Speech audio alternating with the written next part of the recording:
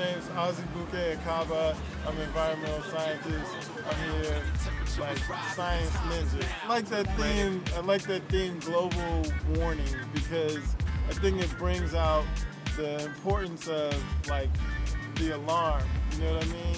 But it's like real because what does that mean for people in the streets in the city like nowadays, right? Because they don't feel the icebergs melting. They you can't see it. You know what I mean? They don't see the animals disappearing and becoming extinct. But it is happening, and on a much subtle level, people are getting sicker and sicker and sicker, like allergies, which is kind of an example of low toxicity, like a, response to that. You know what I mean?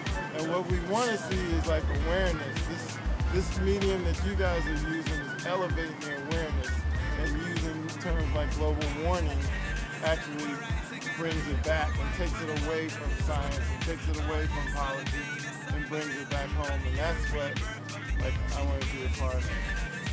Keep it real.